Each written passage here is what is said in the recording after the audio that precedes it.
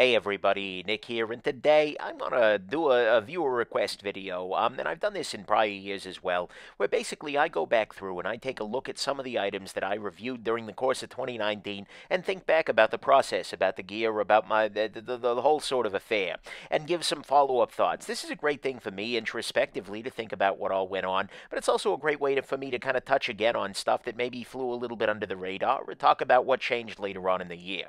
So anyways, um, there you go. I hope you find this interesting. And if you don't find it interesting, hey, guess what? Still free content. But uh, yeah, let's go on ahead and forge on into the next uh, approach here. Okay, so first off, Hinderer Knives Full Track. This is a knife that I ended up respecting a lot more than I wanted to keep around. It's sort of, I have this class of knives in my life that I desperately wish I had sort of enough use and enough space and frankly enough money to just keep around because I like this knife a lot. It's great. In every meaningful way, I enjoyed it and appreciated it, but when the time came, it just never ended up getting carried. So I've recommended it to a number of people. It's just it isn't one that stuck around. But I, every time I look back at it, I'm like, oh yeah, that was a hell of a knife, right? Um, you know, if only the toolbox was so much bigger, you know. But uh, absolutely a beautiful thing. You know, the Cricket Provoke is a weird knife, um, partly because I think it was a, a bellwether for the rest of CRKT's higher end stuff, but partly because I think in practice it was probably the most high end, or I'm sorry, the most sort of creative new knife of the year. Um, at some level, nothing else was that crazy. I am, I, I there was so much coolness here in this particular piece that I, I just appreciated it deeply. Um, and so, although my review was in some ways a little bit cursory, because what the heck use do I have for a folding karambit? Um, this is another one of those knives that I respected amazing, you know, a, a great deal. And uh, although I have no use of one ever, oh man, was this good. And so I, I feel like at some level this didn't get the press it deserved. It didn't get the recognition it deserved, even though it was really good. Another good contender for the um, best and most unrecognized knife of the year would be the Spyderco Subvert. Looking back with 2020 vision, eh, um, it's very, very clear to me that the Subvert was actually probably the best high-end knife that Spyderco put out last year. The Drunken had its issues. We'll talk about it later. The Paysan had its issues. We'll talk about it later. But in retrospect, the Subvert was just freaking good. Um, every part of that knife, uh, the size perhaps aside, every part of that was just excellently done. And so I, I feel like in some ways that was, although it didn't feel that way at the time, that might have been the high end Spyderco winner for the year, which is interesting. Um, absolutely not what I expected, but in retrospect, I find myself thinking, wow, I wish they made a smaller one of those because that was pretty damned excellent. Very impressed there. So the uh, Robinson, Brandon Robinson Bobcat here was a, a, a, knife that I think was very, very good, but it represents probably my favorite thing that happens on the channel, which is when I find a maker who's really underappreciated or maybe underrecognized. Um, you know, Brandon Robinson has been making this really cool stuff, but has also been a little bit, uh, well, under the radar, so to speak. And just like Rainy Day Knives, um, I, I was very, very impressed with the work, and so it always brings me some joy when able to, able to use the exposure that the channel can offer to uh, bring some attention to somebody who's doing great work in relative obscurity. I'm sure it causes them some trouble from time to time, but at the same time, I don't know, to me that feels like a, a major win. You know, like, oh, sure, Spyderco made a good knife. No one's shocked. But this is maybe a bigger uh, and more interesting piece. One of the major trends for 2020, I felt like, was the fact that really, really good isn't good enough anymore. And the Ferrum Forge Massdrop Dow is kind of a good example of this. This knife was substantially excellent. In fact, it was the best thing that they had made yet. But the thing is, it was almost lost in, in, in the fray among all of the other really excellent flipper frame locks that have come out. Um, and so it, it was a knife that I, I really liked. It was substantially excellent, but ended up just kind of getting washed off to the side. Like I, the, I hadn't thought about it in like nine months after after the uh, original review. So it's it's this weird thing where you, you like excellent isn't good enough anymore. You have to be excellent and memorable or excellent. I don't even know what you need to be. But it's kind of shocking to me, thinking back about it, how little I've thought about the Dow, knowing just how damn good it is. Like a couple of people have like put one in my hand ever since at like an event. And it's like, yeah, that's good. But it's very, very strange. Uh, it, it's just a sign of how competitive the market is right now. I think. The Cold Steel AD15, I've talked about a couple of times at my end of the year roundup, but in some ways, I think this represents a, a, a beautiful thing for Cold Steel. Um, between that and the AD10, this was them really just knocking out of the park some custom knives, and they didn't nerf them, they didn't screw them up in any way, shape, or form. I now own this knife. I actually repurchased this after I got a good deal on it, um, just because I like the AD15 custom a lot, and this is just damn near as good. And so, to me at least, this was a major thing from Cold Steel, and it was something that I was thrilled that they did so well. I, I was very, very happy with this knife, and I, I think frankly, anybody should be, perhaps most of all, Cold Steel and Demko. They did really, really good work on this guy, and I think it, again, it didn't get the recognition it deserved. Remember we were just talking about really good isn't good enough anymore? Yeah, the WE Knives Deacon is a really nice example of this. This is a knife that was substantially good, but it had a couple of little tiny flaws. I think the stock was a little thicker than it needed to be, and it's got that little, uh, you know, upturn at the back of the heel there that made it a little less than in my hands. But it was good, but it wasn't quite like again three years ago oh my god this would have been a world beater. But nowadays the, the market is so intense that it, it couldn't stand up. So it's very weird very good but somehow that's not good enough. And that's that's kind of amazing to me but there were nice reminders that at the end of the day, design is really the big differentiator. And this is one of them. This is the uh, Laconico EZC uh, from uh, Monterey Bay Knives. Uh, this is a knife that is very, very simple. At the end of the day, it, it's basically built like a Kizer, which makes sense because it was made by Kizer, right? Um, but it, it had just a very, very thin and slicey blade. It had a really nice action. It had a very nice minimal... I freaking love this knife. This is a knife that is a part of my collection, although it's been on loan for a while, actually. But I'm looking so much forward to like a, a version 2 of this guy. Um, if they can bring the integral construction of the XLC to it, oh my god, this is going to be good. But this is a testament that although fancy materials are amazing, um, it's not necessarily what you need right now.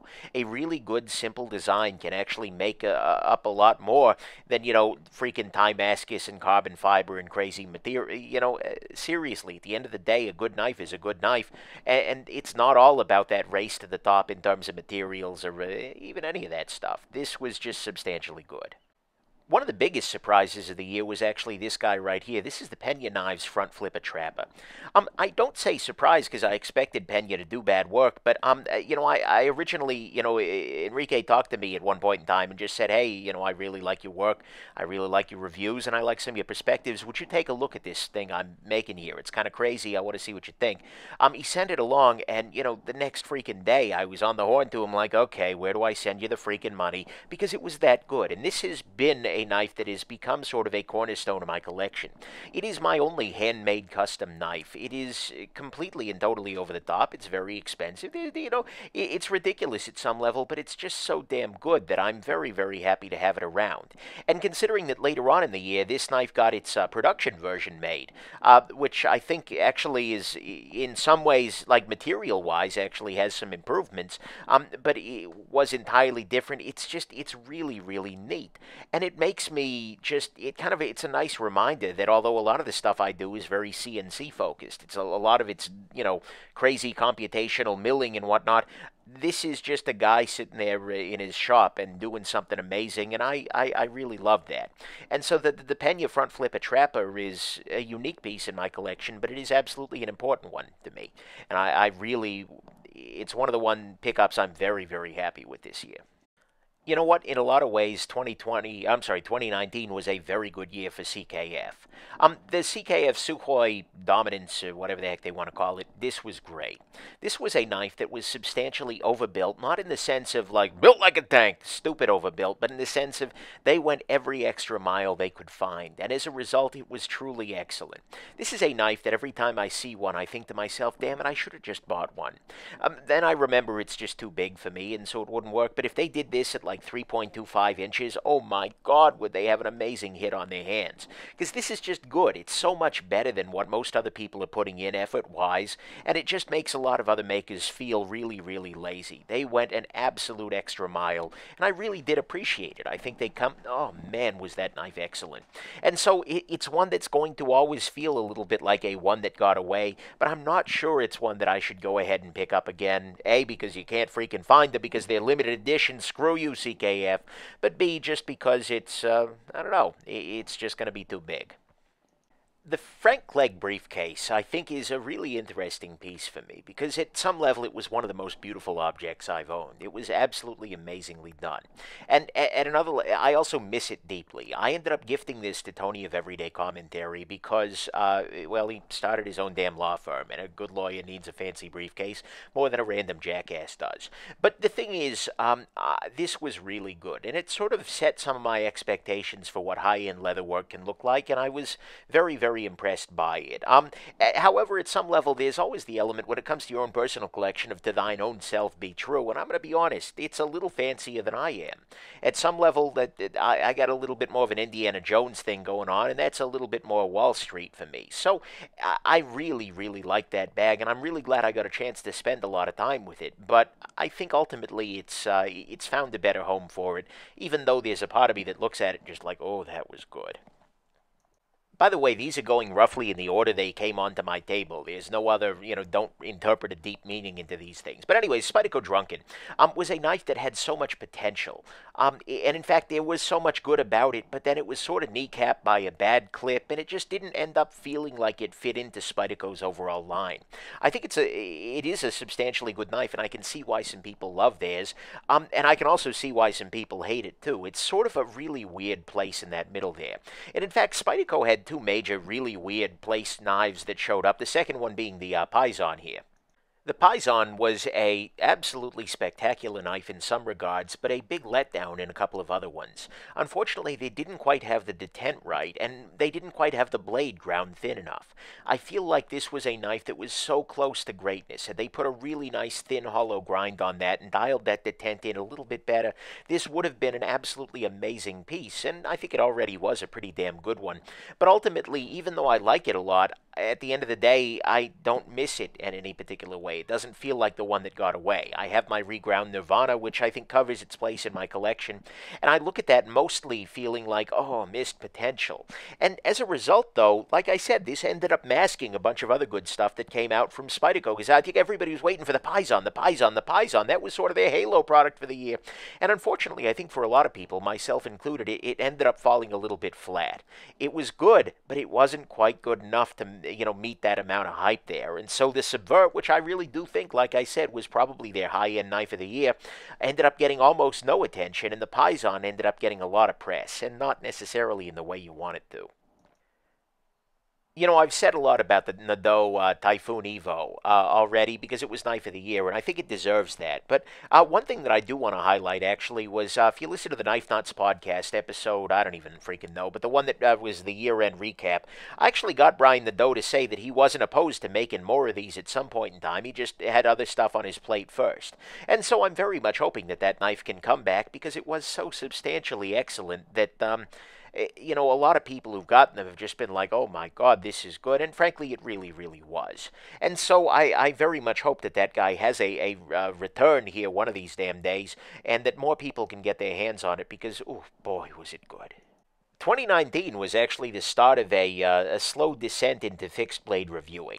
Now, fixed blades for me are always a little bit difficult because a they're not legal for me to you know daily carry around here, and especially ones that are nice and big and la- or uh, large big and large, both at once, right? Um, but at another level, I, I realize that, you know, spending some time with them, it's like I can still get a lot of good feelings about them, right? Um, and I can still try a bunch of testing at home, and frankly, I can still appreciate elements of them. And the Spyderco Waterway was one of the ones that kind of came to mind, uh, and was one of the ones that got me going down that route. A lot of the other small fixed blades I'd done had been like small EDC fixed blades, and those never made any sense to me, but the bigger guys I can totally get, and I can totally use in a variety of contexts. So so, you know, I think eh, some would probably argue that I'm not the right person to be doing fixed blade reviews, and to an extent, you're probably right. But I, I do actually feel a little bit better about doing them on the channel now, and although it's not going to be something I do a ton of, and I'm definitely going to be choosy, um, I think the Paysan opened the, uh, not the Paysan, sorry, I think the um, the Waterway opened the floodgates a little bit, eh, eh, uh, to that happening a little bit more in the future.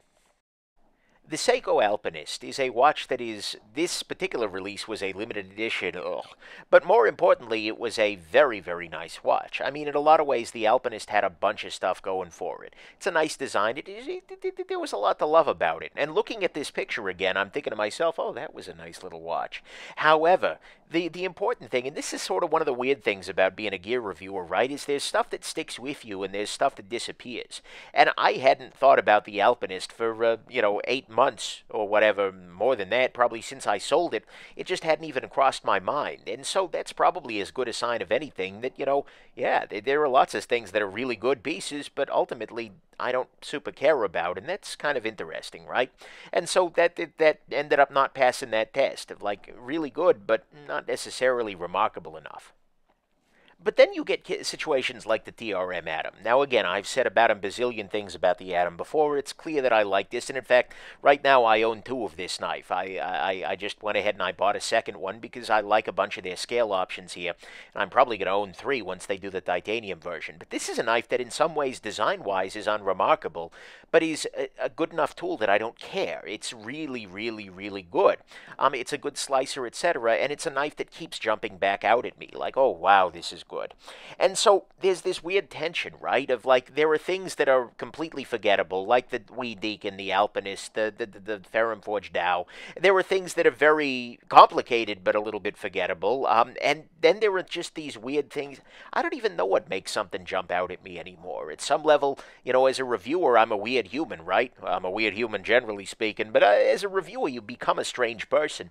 But what stands out? What jumps out? What catches my eye? I think may be a little different than for your average random jackass off the street. I occasionally get comments that make me suspect that this is true, right? You know, I'll see like the uh, CKF 520 or 523 actually is coming down the pipe here.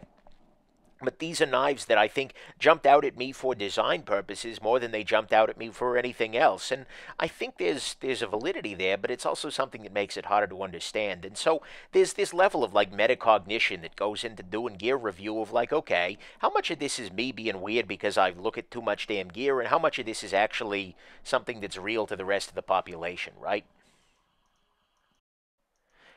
The steel wheel Tasso here is a, a knife with an antlock. This is, as far as I'm aware, the only knife that's had this guy. Um, and it was it is a good lock. Um, fundamentally, it's a new lock and it's a good lock, and that's kind of unusual.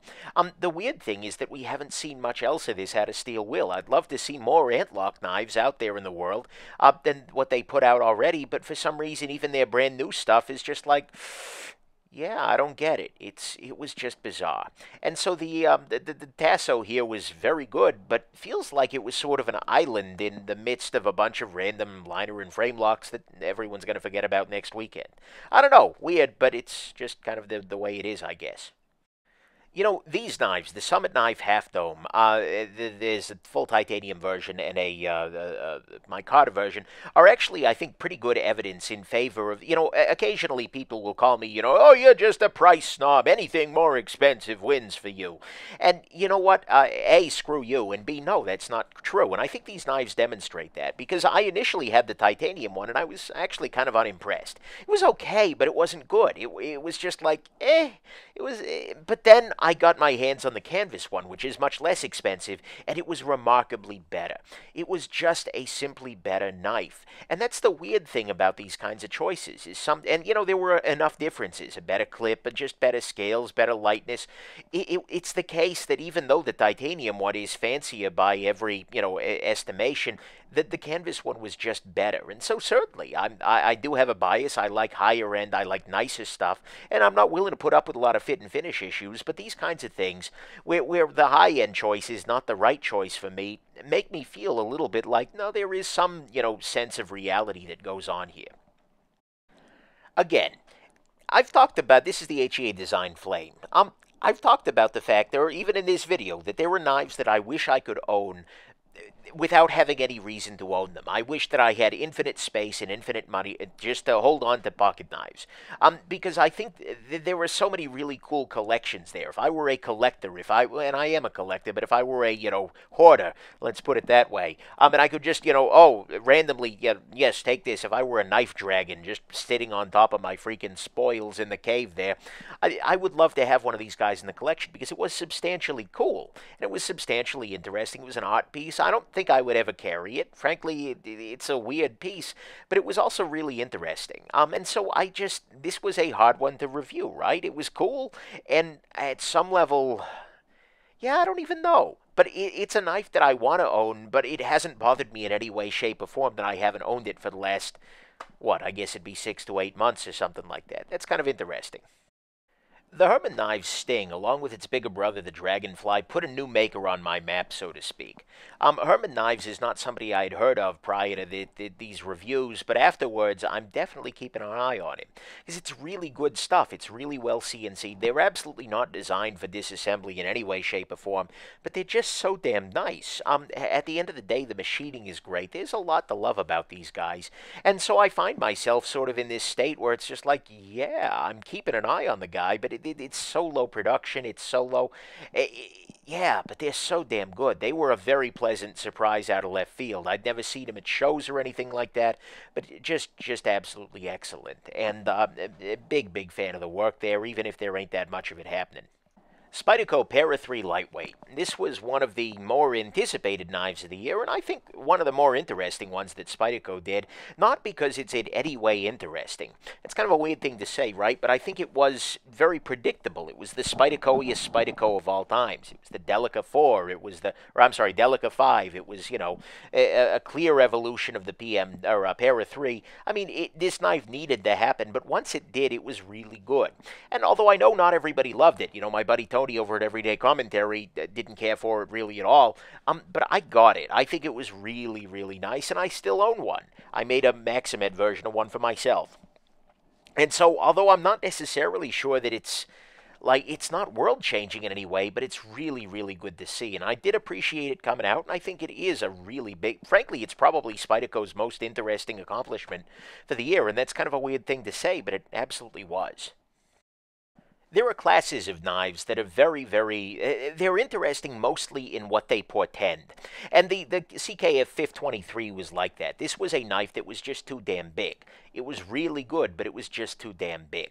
And so I kept going through that review thinking, oh my God, we need to have the CKF 520, uh, which brings it down to a reasonable size. We ended up getting that in early 2020, and thank God for that. But at the same time, um, the 23 was interesting mostly because of what it showed off. Coincidentally, here's the Gerber fastball, which is in some ways the same damn thing. This is a knife that had some problems. They're still working on quality control and whatnot for these guys, but it shows a lot of progress very, very quickly. And so this portends very interesting things for Gerber, and it's put Gerber back on my map as a company that's like, okay, I should keep an eye on these folks. They're not out of the woods yet, but absolutely 100% what the fastball showed me is that Gerber is worth keeping an eye on again. And that was something that I wasn't even thinking about doing for a good long time there. And so is the fastball, you know, like, oh my God, the best knife ever? No, absolutely not. But you know what? It's pretty damn good for what it is, and it's a really decent. Well, I'm sorry, it's pretty damn good for what it's coming out of, and it's a very, very good sign, I think, for the future of the company. One of my very favorite things to happen in 2019 was CRKT's moving up into the higher end. First with the Shock we're seeing here, which is a knife that is completely and totally freaking ridiculous. It's it's uh, it's well made, but it, the price was completely out of control. It was an absolutely crazy knife, but it was, I think, something that they needed to do. They needed to really just try something crazy just to shock the world. And I, again, I think uh, their nomenclature was not far off there. But they were just testing the waters on that higher end. In some ways, the Cricket Provoke was sort of a, a, a, a bellwether for that, as I mentioned earlier. But I think the Shock did serve its purpose. Um, not necessarily as a Halo product, but just as a, like, guys, we're doing crazy things, take, take a look. And we actually saw this followed up shortly after. The uh, titanium home front is absolutely great. This is what happens when CRKT goes high end and makes their great designs into something that is, well, worth a damn, right? Um, using titanium, using all of this stuff, that is such a good knife. It is a knife that is very, very happily in my permanent collection. It is just damn good. And uh, I, I, I I can't wait to see more of this from Cricket. They have so many excellent designs from their past and from their present that just need to be brought back to life with a decent factory, and I really hope they're able to pull it off because that will make CRKT a much more exciting company than they frankly have been for many years. And in fact, we see some signs of this even with the CRK, uh, C, blah, the CRKT CEO actually did some very similar things where immediately they had some, I don't know if they're sprints or exclusives or what the heck they were, but some really cool stuff um, eh, where they did this in a micarta with some bronze liners and uh, nice steel. I, I am, I, I can't wait to see CRKT experimenting with more of the price range. Like I said, they've got such good designs like the CEO, uh, and but they've been chronically underserving them for so long that I think the knife community has gotten a little disappointed, but hopefully they're going to claw their way back right up there. Oh, Casio. Casio this year just rocked my world twice. First with this watch, the Oceanus T2, uh, T200. Um, I ended up selling this guy to my buddy Tony over at Everyday Commentary because I knew he would be uniquely weak to it, and it is an amazing piece. But that piece actually, I, that, that, that was great in so many ways. Just watch my review. It's an amazing freaking watch. But that put me down the path of, huh, Casio does these really great high end watches. I wonder what their truly high end stuff would look like. And that brought this guy into my life. The Casio Oceanus S5000C really, really, really good watch. This was a thing that I thought was going to be a really bad idea, right? I figured that this would be the dumbest thing I did all year. Spending 1800 bucks on a Casio, what kind of idiot would do that? But it turned out to actually be one of the better watches I've handled, frankly. Um, and it, way better than anything I've seen out of Switzerland in quartz. I am really impressed with it, and it kicked the aerospace out of my collection. It is a, a watch that is just like, oh my god, how is this thing this good? Um, Casio has absolutely won my respect, and I am definitely a fanboy of theirs, given that situation. Oh man, was that thing good! And so that was one of the things that brings me a lot of joy as a gear reviewer, right? Is the ability to try a completely insane thing as an experiment for the channel. And lo and behold, it was a great experiment. Ended up changing my uh, my watch box forever. Ah, oh, the Work Sharp. I'm still taking heat for this one. So I did my review and I, I, used the belt grinding attachment, and people were up in arms because the way that I was using the attachment uh, is different than the way that they generally uh, claim that you should be doing it. Um, and so I was teaching people wrong. Oh my God, you don't even know how to use it. How can you review the damn thing? Um, and certainly, I mean, for, for some people, uh, yeah, you might get different results taking a different approach. But the thing is, for me at least, it was working. It just, all of the issues were still there, right? And so this is a case in which it's sort of like you don't know exactly how to when you adapt to using a tool, right? You adapt it into your own life. And so a lot of people were just not okay with my using it against, you know, it's not even the way you're supposed to. Yeah, I know how you can use it. It just, you, it, no, I like the way I'm doing it better. And so I took a lot of heat for that. And uh, I maybe I should have said, oh, well, the way that the manufacturer recommends you use it is this, but I, I don't freaking know. Um, either way, that one's been a uh, d- d- still getting comments on that one on a regular basis, and don't know that I need to. I love seeing innovation. I love seeing new locks. I love seeing new approaches. I love seeing things that are just different than we've seen before in the knife world. Um, the Spyderco Parada then had a, a, little bit of a soft spot in my heart for it. You know, with a, a little bit of extra work. The Parada was a very interesting knife. Um, however, it was also kind of a pain in the neck, and unfortunately, it was done at the Japan factory with black G10, and so as a result, we ended up with a very low value. I feel like it's uh, that locking mechanism has a place to shine, and I hope we see more of it in, the, in Spyderco's future, ideally done at a factory that gives a little bit more of a damn, or at the very least gives a little bit more value. But at the same time, I'm I, I, I don't know. It's really tough. Like I've never looked at that knife and thought, oh wow, I should carry that, or oh wow, well I, I don't own it anymore. So, but I've never thought about you know, oh maybe I should pick one up. It's sort of that weird thing where it's like I like the innovation, but I don't necessarily need what they were putting down there. I don't know. It's kind of strange, right? So much of this is. Yet there are also these releases that go completely under the radar, and the Spyderco Native Chief was, I think, one of them. I did a review. It was a great knife. It is a great knife. The Native's a good knife. This is a great knife, too. And this gives you an option for a nice big blade. I, there is so much to love about the Native Chief if you love nice big blades, but because it's something that is sort of well, just a big ass native. Um, I think for a lot of folks, you're looking at something that's maybe a little less interesting to them. It's not like, oh my God, blowing you away. And so this was another really excellent release that Spyderco dropped that I think a lot of people didn't even really see. They didn't hear much about because there wasn't that much excitement for it. But it is a really solid, good tool and frankly deserves a lot more spotlight than it ended up getting. You can rewatch my review of this uh, uh, Chris Reeve Small Sebenza if you'd like to get a, a, better sense of it. But in a lot of ways, 2019 was the year I made peace with the Sebenza. It's a weird thing to say at some level because, guys, come on, it's a freaking pocket knife. There's no peace to be made here. But at another level, um, it's a touchstone within the industry, right? And as a reviewer, there's kind of a there are certain points that you need to have, or certain pieces that you need to have around. I don't know whether I would still have a Sebenza if I weren't a, a gear reviewer. I don't know whether it would have been passed over for something else or whatnot. But it is very, very clear to me that I should have one around just as a point of reference, if nothing else, for the channel. But it's also a damn good knife. At some level, I, I, I every time I carry it, it's just like, yeah, that's good, that's solid. And so I keep going back and forth on it. Even still, I've made my peace, but there's still elements of me that are just like, eh, what the heck? I don't freaking know. But at the very least, the Sebenza 21 is finally a part of my collection, and be, partly because I am a gear reviewer, I don't necessarily see it going anywhere anytime soon. I talk a lot about iteration leading to improvement. And I think one of the biggest demonstrators of that ever is the uh, tactile turn uh, bolt action pens. The slider and glider, their original bolt action style pens, were complete and utter trash. They were just bad. Bad, bad, bad, freaking bad. Um, and then they turned around and they knocked it out of the park with the bolt actions. They learned the lessons they needed to, and they created something that is good, good, good, freaking good. And I really, really loved seeing that. It was super heartening, and it made me feel like, okay, there is justice in the world. That's a weird way to put it. No, there isn't justice in the world. But by God, for a second there, I had that pretty illusion, and it was kind of nice, right? So that one was pretty damn nice. So the beats. Oh, the beats when I picked these guys up, it was partly because I got a really good deal on them, and it was partly just, you know, for the channel to review things. But in practice, these guys have ended up having a much bigger impact in my life than I expected. They're, they're something I use on a actually a very regular basis, but not for what you'd think. I mean, if I'm doing serious listening, I use actual headphones with an actual headphone amplifier.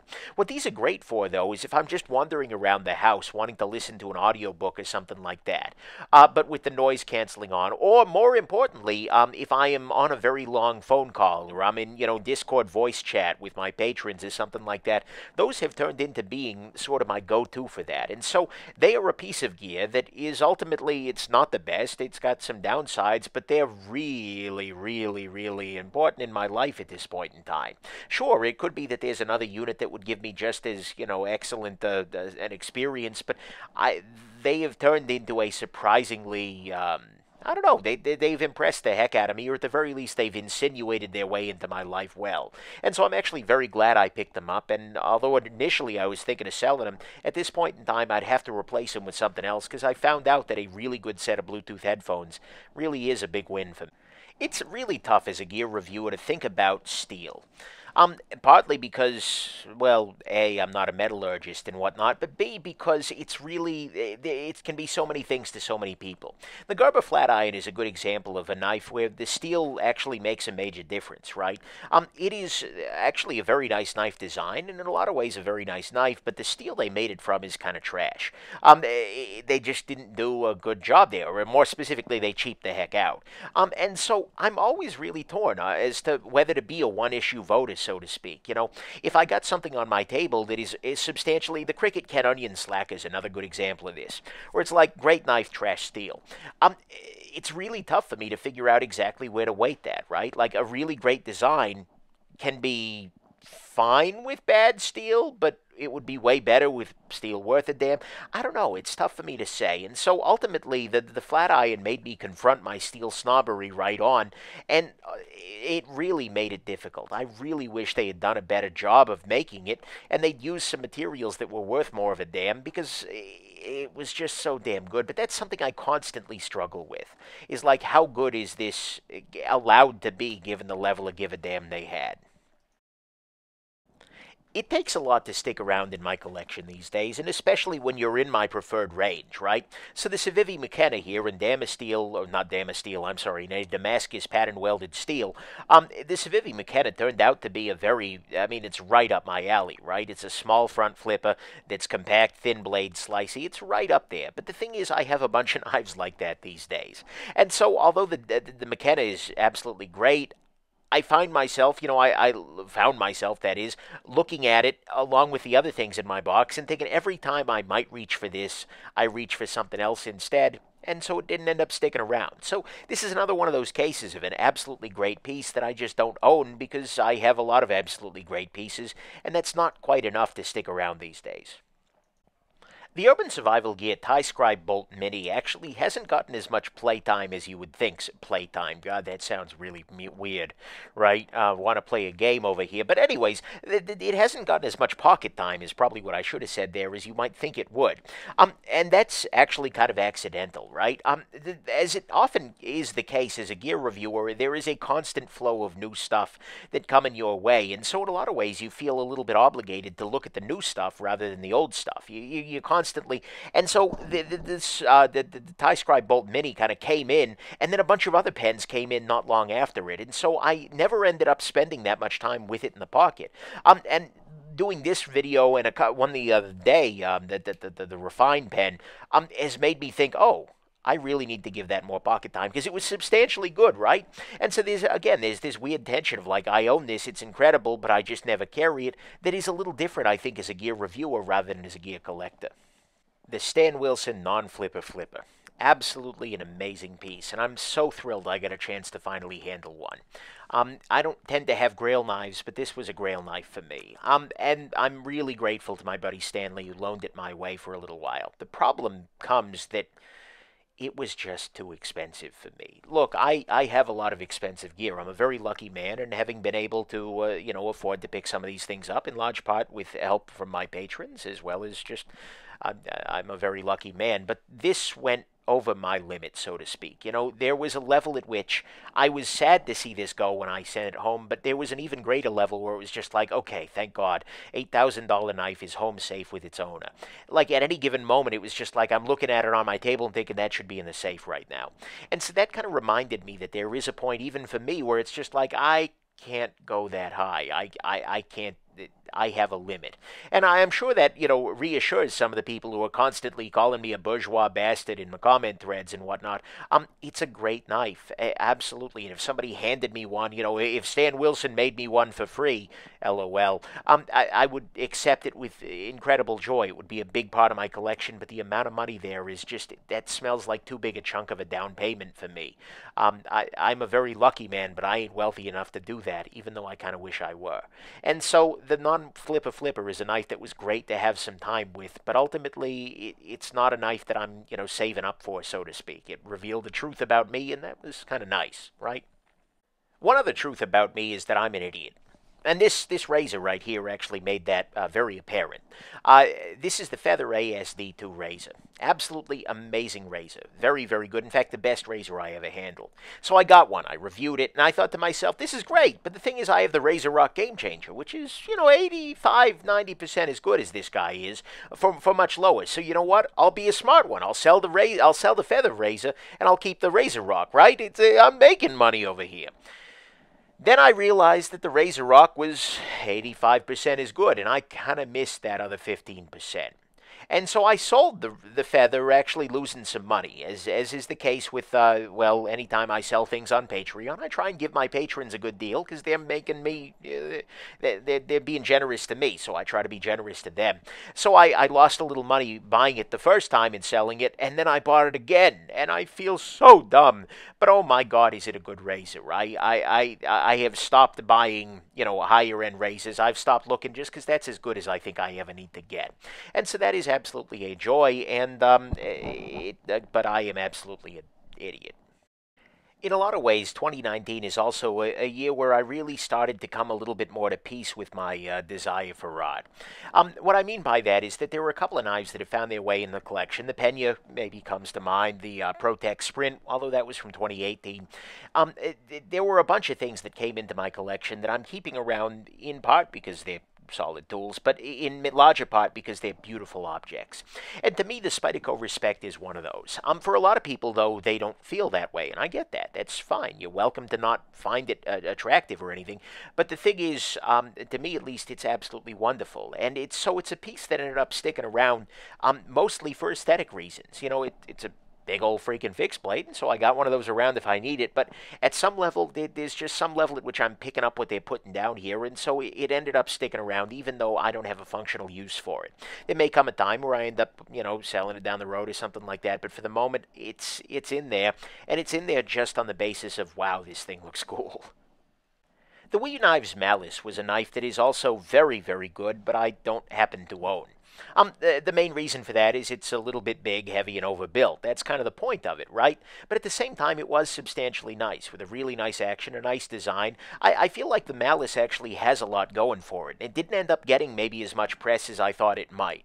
Um, it's a really substantially nice piece, and uh, I don't know. I, I, I keep thinking of my every time I see a picture, like, oh, why did I why did I sell that? But then I remember, oh, because I've got a bunch of other things that would work just as well. I mean, if it's Malice or Shaman, I think I'm going Shaman. But still, um, absolutely, uh, there, there was a lot of love there, and I hope that's a knife that gets a lot of love more in the future. I finally reviewed the GoRuck GR1. um, it's been a long time coming. I have used and carried this backpack forever, and I finally got around to freaking doing it. But in the process, though, I, it's interesting because the, the world changed out from under me as I spent my seven years or whatever with this backpack I don't even know the, the time frame there, but a long freaking time with this backpack. Um, the the world changed around it. They went from being made in the U.S. to being made in Vietnam. They went the, the, whole bunch of crazy stuff changed. Um, over at GoRuck, and the company continued to progress in its own special little way. Uh, and so as a result, the, the the review ended up being a lot eh, different than I think it would have been had I been reviewing the GoRuck in 20 you know, 12, 2014 or something like that. I wasn't reviewing then, so of course it'd be different, but still, this was kind of a weird example of the, the, the fact that the, the unit itself hasn't changed, but the nature of the, the, the unit and context is very different. And so that was sort of a weird thing to write. Like, how do I express my, you know, unbounded love for this pack while at the same time expressing my, frankly, discomfort for the way that things have been going at GoRuck? It's, it's very, very weird, and turned out to be a, a weirder review than I expected just because of that. One of those really big complicating factor things that ends up making reviews take freaking forever to write. That was probably a five hour review just in the writing process, let alone in filming and all of that. So that was a situation right there. Oh, the Lumintop FW3A. This is a light that is dumb. Um, I know that it is the darling of the flashlight community, but it is freaking dumb, and I am completely and totally uh, unashamed to say so. Mostly because the interface is just bad. It, they, say it's complicated. They say it's configurable. They say it's all... No, it's dumb. At the end of the day, I wound up feeling like, you know... Uh, no, go away, flashlight. You, you're awful. Um, but that's kind of a silly thing to say, right? Because at some level, it is a, a darling of the. This is a case where I am reminded that I am not a flashlight person. At the end of the day, I look at a flashlight as a tool rather than an object of you know its own significance, so to speak. Uh, and so as a result, I wasn't able to nerd out enough on that to enjoy it, and ultimately, I ended up my heart ended up getting pulled elsewhere. And that elsewhere is the uh, uh, not EGTAC. Uh, this is the JetBeam RRT01 version 2. Um, this is a light that is, in some ways, if the uh, FW3A or FW2A is too smart, is too overdone in the interface, this one is completely minimalist. It's just a ring that you turn and the light gets brighter. And as a result, it is the very, very best light of the year. Um, it is so damn good at lighting things up that uh, with such a good interface, with just every damn part of it. All it needs is USB for it to be the perfect and last flashlight I ever need for my life. Really, really, really good piece, and it was such a contrast off of that freaking Lumintop mess, or it's just like, you know what? Hey, you turn the ring and it comes on. But this is one of those things that reminds me, you know, I um, we filmed an ep- or we recorded an episode of Gear Geeks Live with uh, Zero Air, uh, who is a um, well-known flashlight reviewer. He does amazing work. But uh, listening to Tony and him talking about flashlights, it was just like, wow, I'm not a flashlight guy. And in fact, this is one of the things I've realized for 2020 is that nobody really gives a damn about flashlight reviews. I might still grab a flashlight or two that really jump out at me, that are like, oh, wow. But there were pieces where it was just like, I really deeply and truly do not give a crap about this light, and so why am I bothering? And this is the perfect example. This is the Olight Baton I think Baton Pro, something along those lines. This is a light that in some ways broke me for flashlight reviewing. Um, not because it was bad. No, in fact, it's an absolutely fine light, but it's so damn boring. It did nothing super interestingly. It did nothing. It was just like, hey, we took another light and we spec bumped it. I should have known that when I went into, you know, they reached out to me and I should have really pressed them, like, hey, what's better? Why, why do I give a crap? But I just said, oh, okay, it's probably better. They probably made some improvements. And they did, but they're tiny little improvements. And as a result, writing the review actually turned out to be difficult because just because it was like, oh my god, this is so uninteresting. They have done nothing of any note here. This is the flashlight equivalent of another titanium flipper frame lock. Like, wow, a Chinese-made light with a slight lumen bump and, uh, you know, a circular tube. Great, amazing. Wow, what a shock.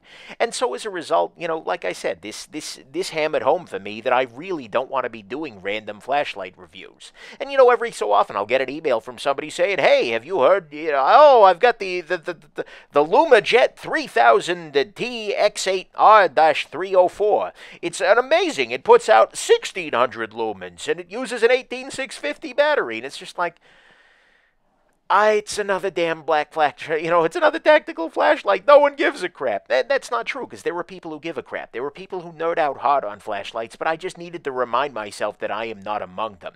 And ultimately, that's that that, that turned out to be a major factor for me, and it, it was a piece of growing that I did during the course of 2019.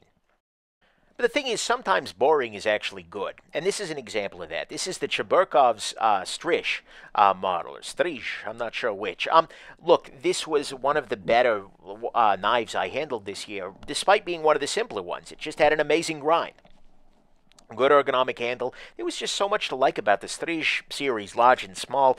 I was very, very happy to get a hold of those. Um, They'd flown completely under my radar, but they shouldn't have, because they were just so damn good. And so the Strish models, uh, despite being very simple, despite being relatively straightforward, despite being the same thing we've seen a thousand times before, ended up leaving a major impression on me and ended up spending some time in my collection. Ended up moving the small along, because every time I would reach for that, I could reach for the Sebenza or a couple of other options, but nonetheless, really, really good piece. Another knife that was boring but really good is the Doug Ritter uh, Hogue uh, RSK Mark 1 G2 or something along those lines. This little guy right here, this was a knife that is also very much in that category of kind of boring, but at the end of the day, super compelling. If I just need a random knife for something, this is pretty damn good of a choice. I'm definitely a fan of the uh, of the Ritters in general, and this one really upped the game. And it's making me watch Hogue a lot more closely. Um, if they're doing the Axis style lock this well, oh, that's going to be exciting. So I'm really excited to see what 2020 holds, and I think the, uh, the, the this whole uh, the Ritter that is is a, a bellwether of what's to come over there. Then there's the Spyderco Chaparral. Um, this is a case where they actually updated an existing model completely, like, out of the blue. Just like, yeah, it's a good model, but we went ahead and we put it on a pivot bushing just so that it was, you know, absolutely, you know, crazy drop shutty, ridiculously good that kind of flew out of nowhere, and they didn't even do any fanfare. They didn't call it like the Chaparral 2 or anything like that. It was just like, yeah, it was a great model. We made it great. eh, no big deal. Eh, it was kind of a big pivot energy move, but in some ways, I wish they'd made a bigger deal out of it, right? If they they, they could have done that, is you know the the brand new you know the Chaparral too, and I think it would have made actually somewhat of a splash because it was a great model that ended up turning out even greater. But they just sort of did it softly, and that was a little weird to me. But hey, I guess rock on, Spyderco, whatever. So remember that whole thing about me being an idiot? Yeah, I'm an idiot. Um, turns out that if you buy something at full retail price and then you write a 20, 30 minute video explaining exactly why it is so damned overpriced, and then you try and sell it to people who believe you as a reviewer, namely your Patreon patrons, it's really hard to get full retail price back out of it. In fact, I ended up taking a substantial bath on the Shirogorov Neon Zero because I think I made a very compelling argument that there's an extra 300 bucks hiding in there that nobody can find. Um, it's a great knife in a lot of ways, but at the same time, especially compared to that, um, the, the, the freaking CKF uh, I was showing you earlier, I don't freaking see it. And so as a result, though, um, this was a, a review that I think was important for me to do in the way that I did. Um, but I really wish I'd just taken a loan, right? And the thing is, my buddy Levon over at the Knife Butts, uh, Knife Nuts podcast, that is, he offered to loan it to me. Like, no, I don't know. I might want to keep this one. This could be really good. No, I'm just a freaking idiot. And so as a result, I lost some money there. But the nice thing is, I got Patreon patrons, right? Not only did they benefit from my loss, so to speak, but um, they make it possible for me to take baths so you all don't have to. Still, um, turns out that telling people something is overpriced is not a good solution to getting full price back out of it. Go figure. Oh, the GSD, Greg Stevens Designs uh, 4M. This was a great watch in many ways, but it's a watch that I sold. But it's a watch I ended up getting back. It's a weird case of if you love something, set it free. If it comes back, it was meant to be. Um, I got this watch after meeting the guy at USN. I liked it a lot, substantially. Then I realized eh, I didn't quite like enough of it. There were a couple of elements that drove me a little crazy. The off-center or the off-color lume, the um, blued hands rather than silver, etc.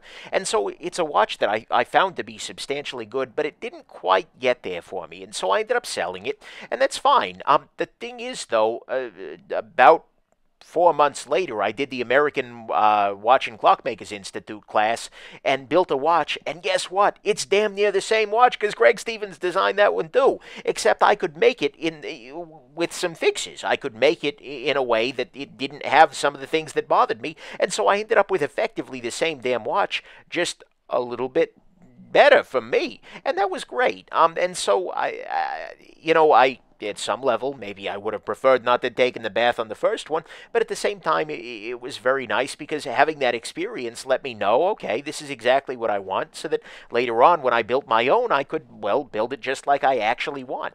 And that was actually a very nice thing. The Dutch blade work Xerxes has gotten almost no love, and I don't get why. This is a knife that is really, really, really freaking good. Um, it's not like quite knife of the year material, although it could very easily have been in another year. I definitely had it in consideration. But it's just so well designed. It's so interesting. I think there are a couple of things they could have done maybe a little differently to get more high-end collectors interested.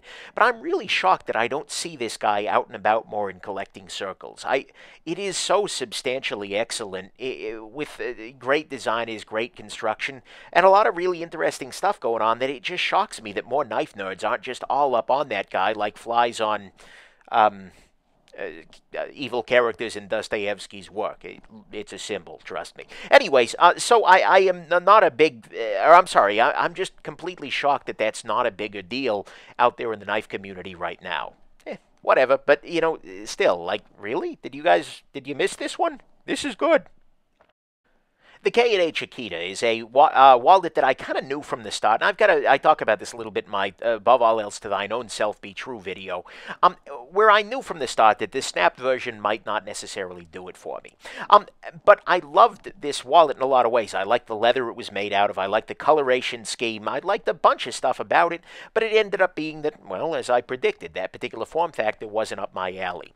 That said, um, once I got that guy back, I actually contacted K&H and I had him make me a uh, Kali wallet, which is the one that I'd been kind of carrying previously, but uh, with that same leather, with that same threading, with that same color scheme. And this is the wallet that I'm carrying right now, and that I, I, I am just over the freaking moon with. I like my other one in Chromexcel a lot, but this one uh, so I learned a lot from the Akita in, with regard to my own personal version, and so I, I, I, and I was very happy to go, you know, that extra mile and uh, end up with something that I liked even more. Again, this is one of those cases of one of the big benefits of being a gear reviewer is that you can try out a bunch of things and you can figure out exactly what you fall in love with as a, a human and end up carrying the very best that you can find.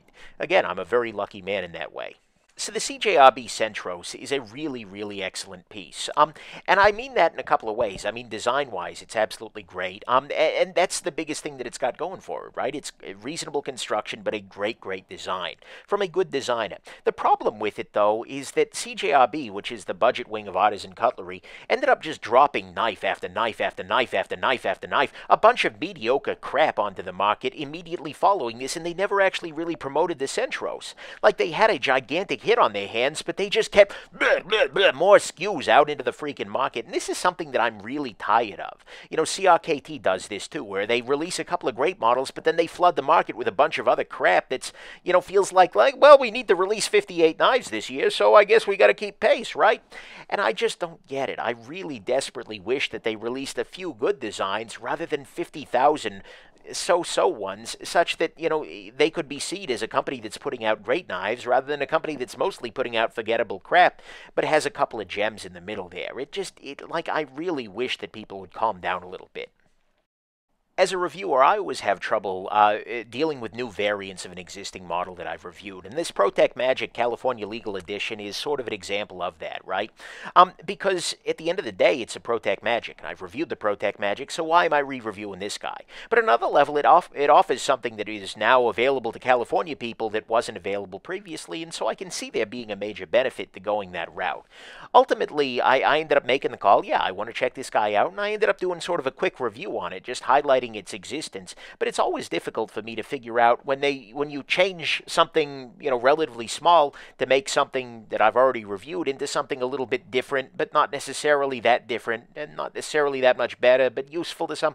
It's always hard to figure out exactly where to come down and you know where to do that and how to do that. So that's the decision I ended up making. But um, it's a very very nice little knife, and it's one that's definitely in my collection, even if I don't end up carrying it all that often. It's really cool. I like the magic design a lot. Speaking of knives that are really hard to get a sense of how to review, this guy right here, the Pena Front Flip Trapper uh, production version. So I already talked about my Pena Custom that I absolutely love, and this is the production version of it. The problem that this knife had is that it was going to sell out instantly and that he wasn't making more for a long time. And so there was always the question of, like, do I do a full review which should take a little while and then wait to release it until more of them come up or do I do or do I just kind of do a quick review just kind of shoot from the hip? Because I only got one the day before they were releasing to everybody in the public right? Or do I do a quick review shooting from the hip given my feelings and letting people buy them later on? In fact this is something I struggle with regularly because very often there's a fair amount of downtime between when a video release uh, when something arrives on my desk and when I'm able to film a video to release it. And so as a result it, it's always tough to figure out exactly how to balance balance that out, right? And so the Pena front flip trapper here, uh, I ended up doing the, the four. I ended up just basically doing a disassembly, which a lot of people like to see before they do a, a purchase, and uh, just giving my basic thoughts. And then, you know, they sold out in like 10 minutes the next day anyways, which sucks, by the way.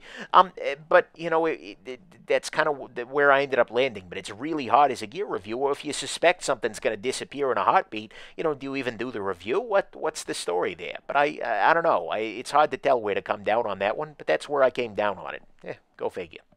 I actually had a similar problem with the Monterey Bay EWC um, which is that uh, in this case, by the time I was ready to fully review it, it had already sold out. I knew, though, that there was another batch coming, and so what I elected to do actually was to hold on to that review. I ended up taking that review, and I, I, I just sat on it for a little while. And because I knew they were going to make some changes in the in the batch, I ended up uh, basically re refilming the review once I got a second generation one in my pocket, and that way I was able to drop the review when there was availability of it. As a result, though, there were a couple of months in there where people had seen. They're like, oh my god, you know, you, you're talking so nice about it. Where's the review? But the thing is, if I posted the review while it was sold out, I'd get a bunch of people grumbling in the comments, oh my god, you bourgeois bastard, you're reviewing knives that I can't even buy. What are you talking about? And I'd get all that kind of BS. I know, Seagulls, it's really annoying, isn't it, people comment like that. But anyway, so I'd get a bunch of people complaining that you couldn't actually buy it if I reviewed it then. But if I hold on to it, I get a bunch of people saying, oh, you come on, you, you, you're supposed to release the review. It's been three months. Like, you, you can't win, right? I mean, that's the, a good summary of the YouTube comment section just generally is like, you can't win. I have great commenters, but they tend to get drowned out a little bit. But anyway, so I ended up holding on to that review knowing that it was going to be a very, very strong recommendation until there was a lot more availability. I um, managed to kill that availability overnight but uh, nevertheless, it, it, it, there was availability, and there will be more of it again. But I ended up making that decision when that time came, and it was uh, it was a tricky one to make. But I think ultimately I ended up making the right call. Oh, the Holt Spectre. I still freaking love this knife. Um, it's absolutely beautiful. It does get pocket time. It's it's just so damn good. I'm super impressed with this piece the thing though is like this is a knife I've reviewed before, and this is a knife that at this point in time is so customized that I'm not sure I can review it, you know, fairly, so to speak. Luckily, my thoughts on the Spectre are not exactly ambiguous, and so I don't think anyone's going to have trouble figuring out how I feel about it. But it's always difficult as a reviewer when you do something that is a little bit more custom for you. Eh, a, because no one else can go ahead and get one. I was on the books for this a long freaking time ago. Um, and B, because it's going to be very customized to my own taste. A lot of people post in the comments like, "Oh my God, that's the ugliest thing I've ever seen." Like, well, I, you're wrong, but okay, cool. Have have fun being wrong. Um, but nevertheless, it's it's a little tricky to figure out exactly how to handle that on the review front. Um, eh, when you pick something up that's very much personal for you as a human, right? It's the, the, the weird tension in the reviewing world. The Tuya Envy is a knife that is really, really good. Um, and it's another one of those knives that I'm actually surprised hasn't gotten a lot more traction in the knife world. Um, th there were a couple of design decisions that I think aren't going to resonate with everybody. That weird kind of tanto tip compound grindy thing, I think isn't going to be for a lot of folks, but at the same time, it's good. It's really, really good. And it was a nice demonstration from a company that not a lot of people had heard all that much out of, and I think really made something pretty impressive as a result. I, I sort of suspect that there's, hopefully, there's going to be more batches of these in the future and that they'll eventually start trickling into the market in greater numbers. And maybe the other thing is that people are kind of bored of flipper, uh, flipper frame locks at this point in time, but that was a knife that was uh, way better than I expected it to be, and I'm, I'm a little surprised I'm not seeing a lot more of out and about. It's always a joy to see a knife. This is the Giant Mouse Ace Sonoma. It's always a joy to see a knife that, in a lot of ways, I had sort of asked for. I and I'm not saying that I was in contact with the Giant Mouse people at all. Um, but when I reviewed the GM3, there were a couple of major issues with it, and then they fixed them all in the Sonoma. They made it cheaper. They made it a non-limited edition. They did a really, really nice job making a, a knife that was just better than the GM3 at a lower price with the Sonoma. So in a lot of ways, I found myself during that review feeling like, wow, this is amazing. This is great. I love this feeling, right? Like when I, when I complain about a bunch of stuff and you fix all this stuff, it's like, hey, we're looking pretty good here. Um, but yeah, so that was actually a very nice review to see, not because I think that people should listen to everything I say and fix all the things I highlight, but because it's really nice to see it when it does happen because it just, it feels like, hey, cool, the world's getting better, right? Um, that's kind of a weird way to put it, but yeah, definitely a thing in a lot of ways, one of the very biggest things that um, came out of 2019 for me, or one of the biggest themes, that is, was oversaturation. And I've touched on this a bunch of times during the course of this video. You know, the WE Deacon, the Ferrum Forge Dow, the, um, and then this guy, the Spyderco Sage 5 it felt like there were so many good knives that after a point it was just like, wow, these are all starting to run together. Excellence wasn't enough. It needed to be excellent and weird. It needed to be excellent and offer something compelling and new. It needed to really jump off the page in a way.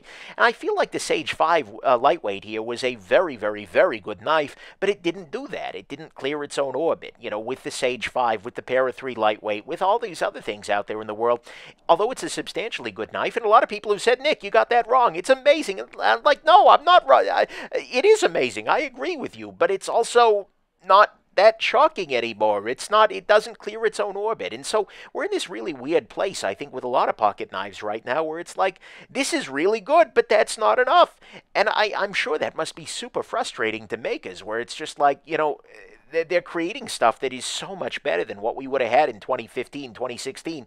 You know, God, if, if some of this stuff was available in 2010, it's just like mind blowingly different. The world has changed. But at the same time, it's so very hard to get noticed right now.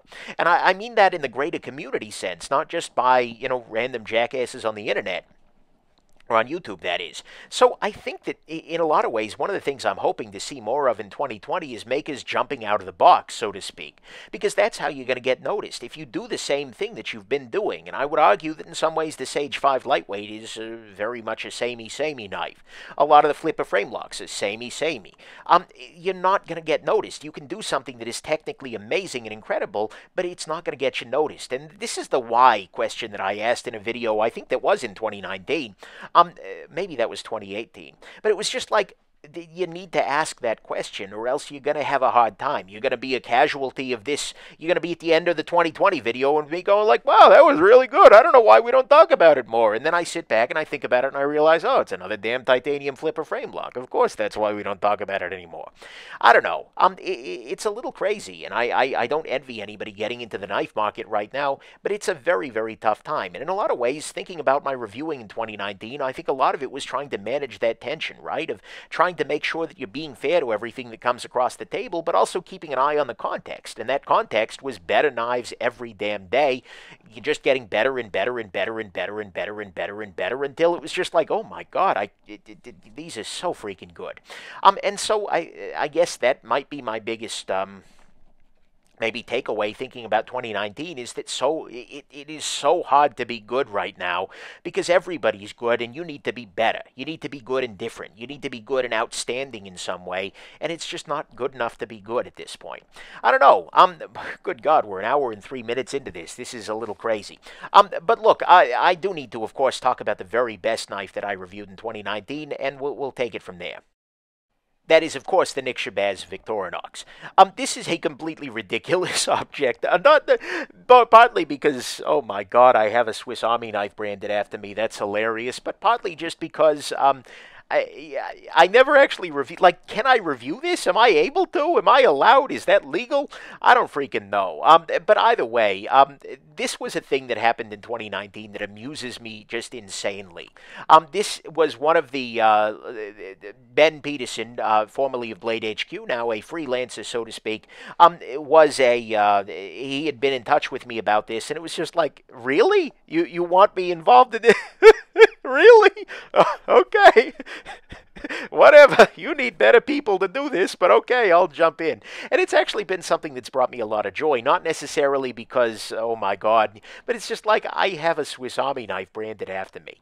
And this is the level of insanity that I could not have predicted when I started this channel a long time ago. That not only are companies, you know, wanting to send me things for free, which is ridiculous, but, um, you know, I'm actually, I, I have merch. Not only do I have the Shabazar, it's shabazar.com, uh, but I have the, the, the, the, the, the freaking Swiss Army knives. I have I have all of this stuff, and I yeah, it's been 2019 has been an escalation of the craziness that is my, my life as a reviewer. It's a wonderful craziness, though, and even as I sit here and I complain and I, I, I think and I meta and, and meta analyze all of this stuff, at the end of the day, it's absolutely been wonderful. And you know, reviewing in 2019 has been great. I've, I've absolutely loved it. I'm not quitting my day job anytime soon. Frankly, I, I couldn't. It, it, it's not a possibility given my life and my expenses. But um, it is absolutely 100% uh, amazing. And so I guess my reviewing in 2019 was crazier than ever. But that's partly because my life as a reviewer in 2019 was crazier than ever. But for the most part, honestly, it's been a good kind of crazy, and that's really what I can get around, or that's uh, really I can.